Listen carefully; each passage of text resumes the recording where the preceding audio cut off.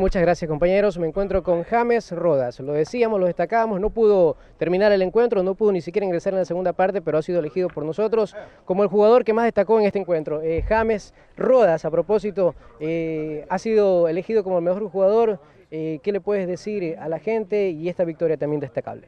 Pues nada, ¿no? Este, un abrazo para mis compañeros, hicimos un gran partido. Eh, este partido, la verdad que nosotros entrenábamos, estábamos destinados a ganar porque el, grupo está apretado. Y pues, pues nada, este partido y estos goles que hice hoy, gracias a Dios no se dio. Salí con mi mamá que está en el cielo, que bueno, como que hubiera querido que esté aquí, ¿no?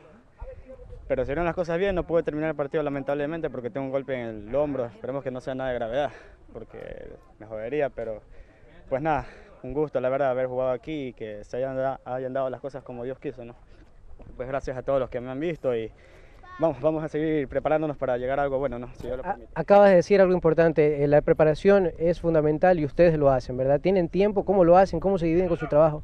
Pues entre semana entrenamos dos veces a la semana con el profe Carlos Llanes, que lamentablemente no está, que ese triunfo también es para él, está enfermo, está un poco grave, pero esperemos que él se recupere y que para el próximo partido él esté con nosotros.